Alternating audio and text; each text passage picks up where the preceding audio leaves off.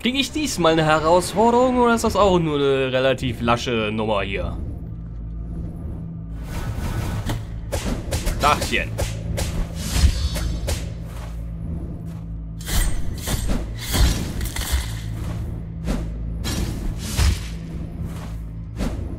Hör auf die Pullen zu werfen. Das sind Pfandflaschen.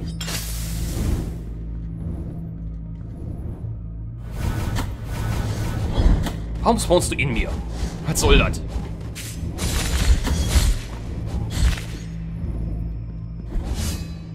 Hat der einen Maulkorb an?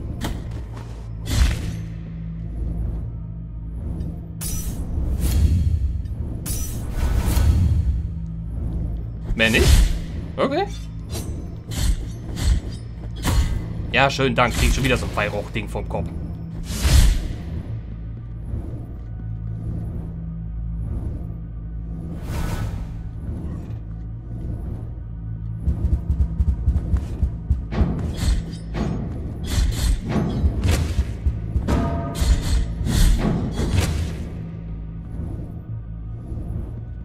Lieber nicht in der Mitte stehen. Okay, hallo, da ist schon wieder der Typ mit dem Buntglas.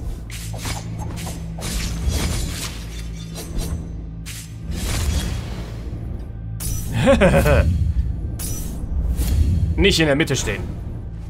Oh, hi. Ja, klar, ich habe vergessen, dass dein dämlicher Feuerball zurückspringt. Das hat dich jetzt nicht getroffen, okay. Was? Sag mal, das hätte dich jetzt eindeutig treffen müssen. Das war doch in der Reichweite. Wieso hat mein Angriff den nicht getroffen? Es macht keinen Sinn.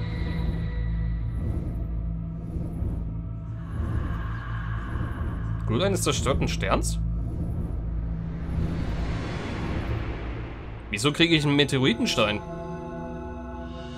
Blutbefleckter Dornstrauch. Was kriege ich am Ende? Dornkrone? Was habe ich gerade bekommen gehabt? Ich weiß nicht mehr, was ich gerade bekommen habe. Ach so, wahrscheinlich ein Rosenkranz-Item, wa? Ja, genau. Seltenes Mineral, das ein Bergmann in einer tiefen Felsspalte fand. Die arme Seele verlor den Verstand, nachdem sie sich im Labyrinth seiner Facetten verloren hatte, die ein nicht existentes Licht widerspiegeln. Erhöht die durch Angriffe erzeugte Inbrunst. Oh. Das ist doch mal ein Item, was ich gerne mitnehmen werde. Ja, dann kann ich ja dafür dann Dingensbums die Inbrunst rausschmeißen aus der komischen blauen Kugel und dann das da reinholen. Die hätte man theoretisch vorher schon mitnehmen müssen, ne? Oh, klar. Da wechsle ich doch mal lieber fix. Ich habe keinen Bock jetzt von den Nebel hier die ganze Zeit Schaden zu kassieren. Aber was ich mal machen könnte, wäre äh, das hier.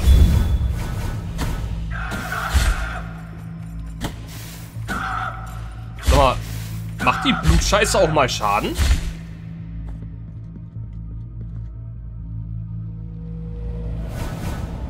Habe ich das gerade richtig gesehen? Wenn der Gegner bereits schon drin steht, kriegt derjenige keinen Schaden? Sondern nur, wenn diejenigen dann da reinlaufen?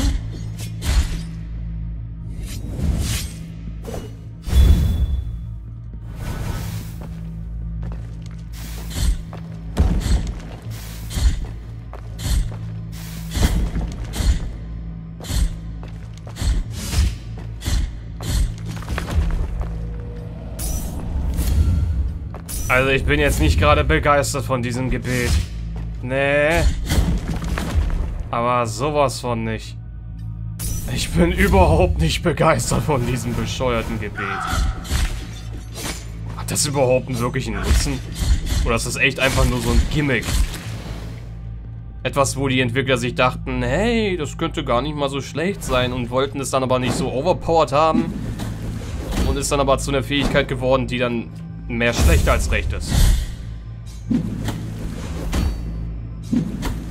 Sicher kann ich mir da jetzt nicht sein, aber die wirkt halt irgendwie nicht wirklich nützlich. Okay, dreh dich mal in die Richtung. Ach stimmt, warte mal. Yay! Geil, endlich mal eine Rosenkranzperle, die funktioniert.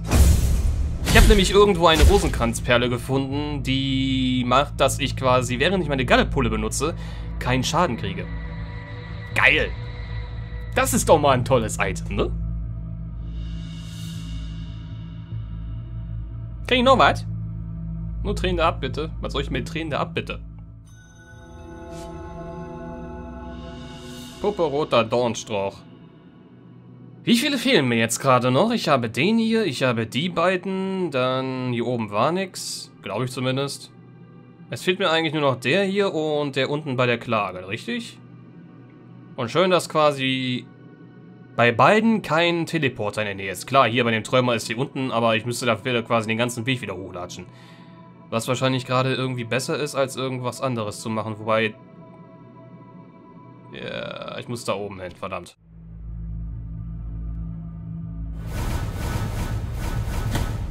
Warum zum Geier kriege ich so viele schwache Gegner?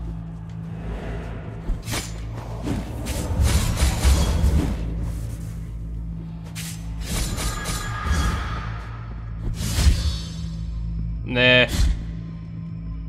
Nee. Die Animation dafür dauert mir gerade zu lange.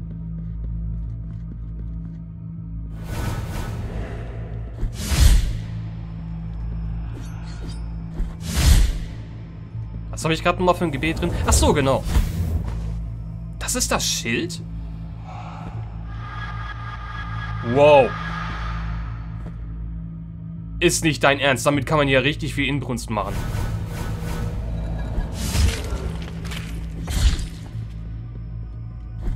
Also ist ja einerseits gut, dass es so oft trifft, aber andererseits ist das nicht irgendwie ein bisschen overpowered?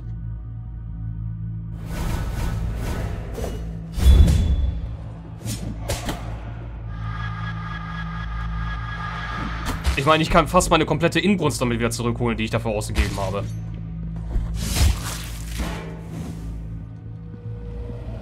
Kriege ich zwei Geister jetzt, bitte? Ja, okay, gib mir gleich alle.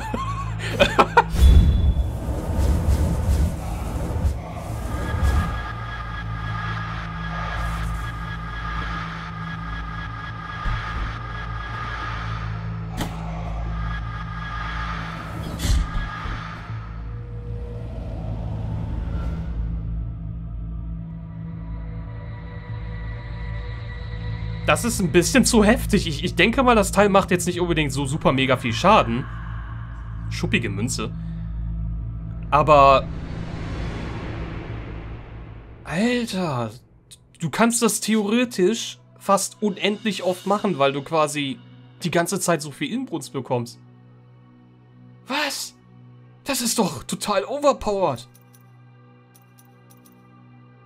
Verstörende goldene Scheibe, überzogen mit der abgeworfenen Haut eines Reptils. Die in einem Flachrelief dargestellte Klaue wurde als Symbol der Gier gedeutet und erhöht die Zahl der Zusatztränen, die mit jedem Angriff geerntet werden.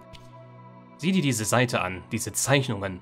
Ein Pferd, das die heiligen Schriften liest, und ein Reptil, das verehrt wird wie ein Gott. Hörst du dieses Murmeln? Das sind die Brüder, die uns vor den Gefahren dieser Seiten warnen. Wir müssen das Buch dort lassen, wo es ist. Ah ja. Raptor Jesus? Hey, da ist ja das letzte Mondkind. Ach, was mache ich denn eigentlich gerade da bitte? Wo ist denn hier? Ich brauche mal hier. Wo ist denn das? Ich hab, brauch hier da. Alle Mondkinder. Dann kann ich ja gleich auch mal wieder zurück zu dem einen Typen da wieder hingehen, da in dem Gemälde, um zu schauen, was ich da eigentlich da bekomme. Nice. Ich habe übrigens allen Ernstes hier unten offenbar vergessen, ein Gitter zu öffnen. Ja. Deswegen latsche ich gerade quer durch Yondo. Eigentlich auch ganz gut, weil sonst hätte ich jetzt wahrscheinlich dieses eine Mondkind nicht gefunden, was mir noch fehlte. Aber was ein Scheiß, ich habe allen Ernstes dieses eine Gitter da nicht geöffnet. Warum das denn?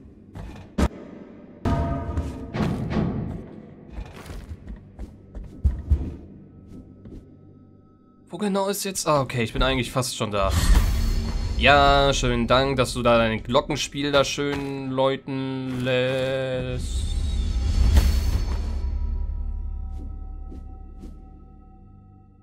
Was?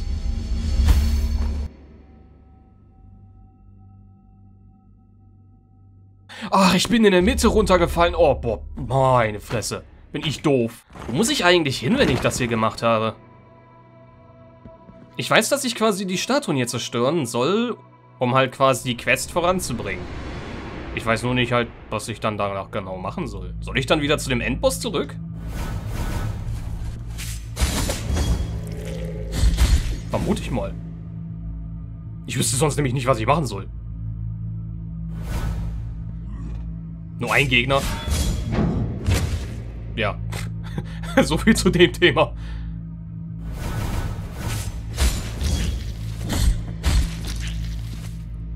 Kommt mir das gerade nur so vor oder bewegen die sich hier gerade einen Ticken schneller? Ich weiß nicht, irgendwie kommt es mir so vor, als würde die Animation einen Ticken schneller gerade sein. Ja, komm nach oben.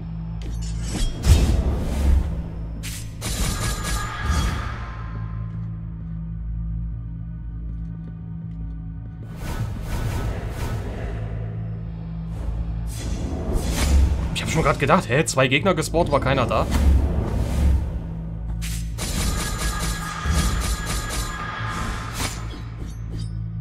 Habe ich gerade einen der Geistermädels da schon auseinandergenommen?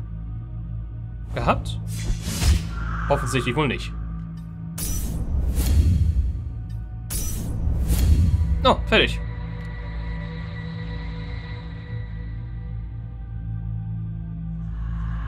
Muschel der umgekehrten Spirale.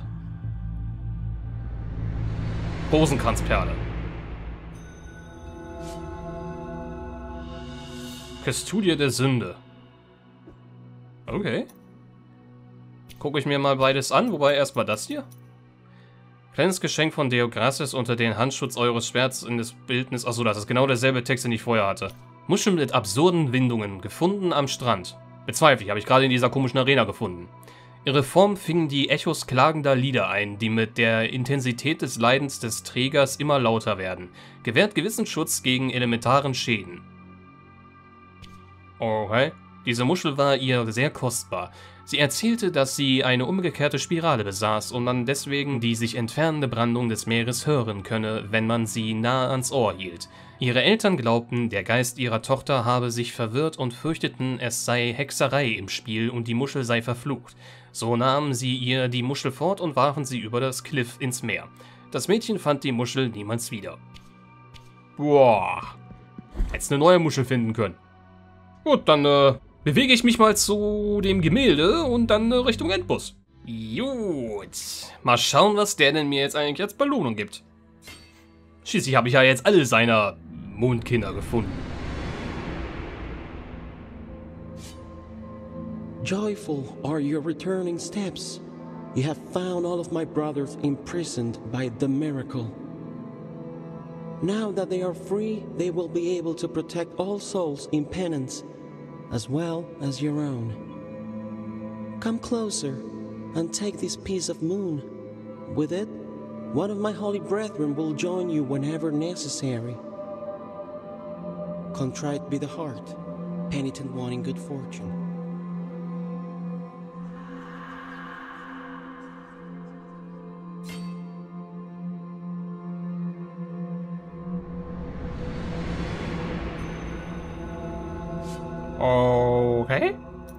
Neues Gebiet. Sieht merkwürdig aus.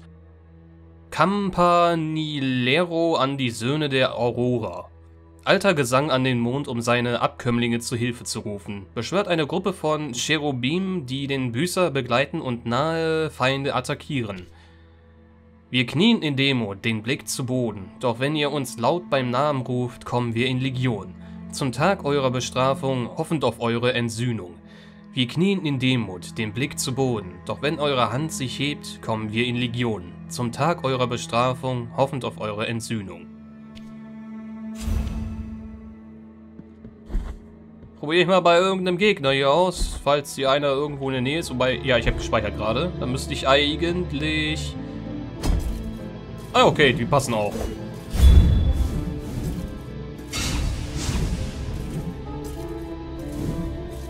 Okay. Nehmen wir mal dich hier. zwei Angriffe und du bist tot. Bei mir sind es, glaube ich, auch zwei oder drei Angriffe. Ob das aber so gut ist, ich weiß nicht. Ich würde gerne mal wissen, ob ich jetzt eigentlich noch diese schuldbelastete Perle eigentlich weiterhin in mein Inventar oder beziehungsweise ausgerüstet haben muss. Aber ich lasse sie einfach mal drin. Ja, ja, ja. Deinen ganzen Text kenne ich schon. Den ganzen Text kenne ich leider schon. Now may your them her I, I bless you. Mhm, mhm, mhm.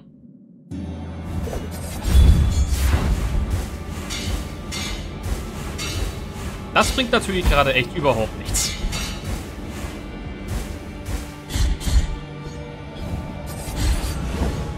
Och, Menno.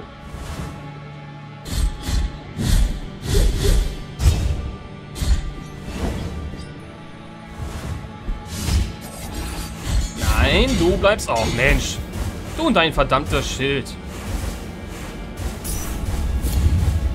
Ich will einfach gerade mal versuchen, was denn eigentlich hier das Schild bei denen hier eigentlich anrichtet für Schaden. Und vor allem, wie viel Inbrunst ich denn bekomme.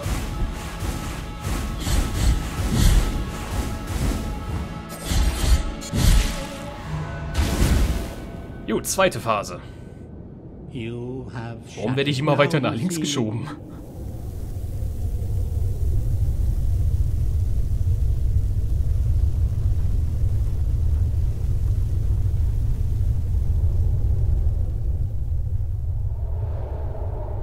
Ich hoffe, wenn der eine dritte Phase hat, was man vermuten kann, dass diese dritte Phase richtig übel ist.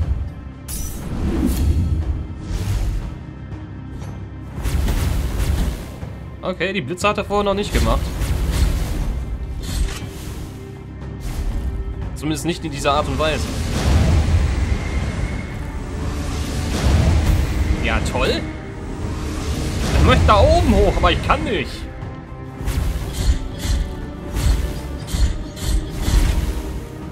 Ja, toll. Ja, danke. Nein, lass mich doch mal da weg. Oh. Man einmal von diesem Blitzkack getroffen ist, ne? Dann kommst du da nicht mehr weg.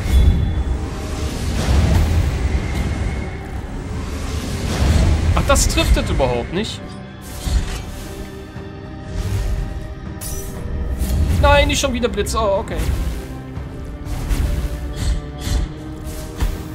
Na, oh, lass mich doch mal meine Angriffe machen hier.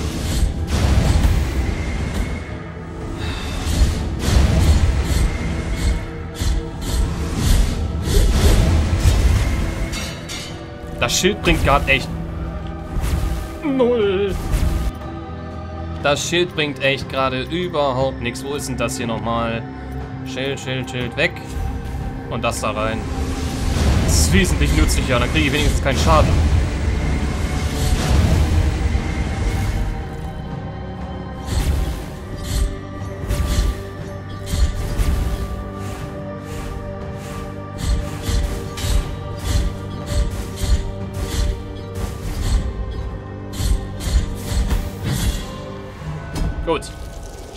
Kriegen wir jetzt eine dritte Phase.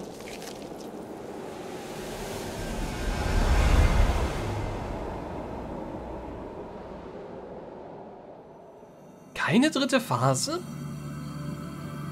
Aber das lässt irgendwie doch vermuten, weil du hast da auf einmal so ein riesengroßes rotes Etwas. Das ist jetzt aber irgendwie enttäuschend. Das ist enttäuschend. Ich möchte meine dritte Phase.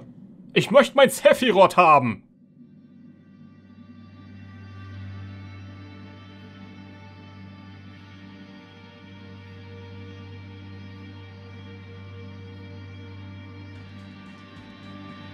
You have freed His Holiness from his afflicted torment. and now he walks by the old processions on the other side of the dream. The cradle of the grievous miracle, the final relic. The grail of blood and gold that emanated from the forehead of the Father as he silently lamented the moment of his blessed twisting. That first relic is here at the top of the Ashen Mountain, next to the Turn Throne, where His Holiness was kissed by a miraculous pain. And now, your final communion with the miracle awaits. Only you will be able to know how much of it has seeped into your guilty heart.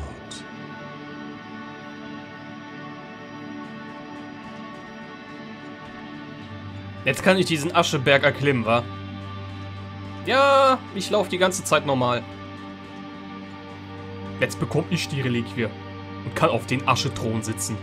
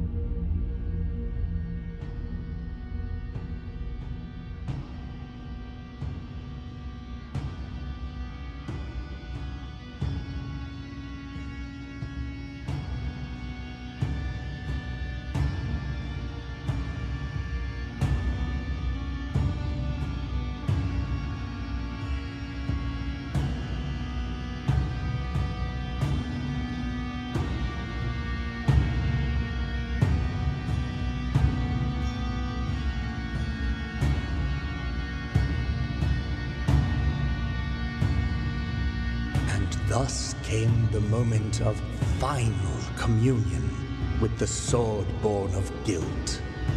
A last sacrifice in order to finish penance and break off with the ungodly will of the grievous miracle.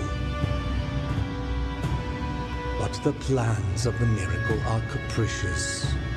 Penance never ends, but changes, hurts, and condemns at will. There is no place for the penitent one on the other side of the dream. His place is here among us. He is the new father and the last son of the miracle, recipient of our prayers forever and ever.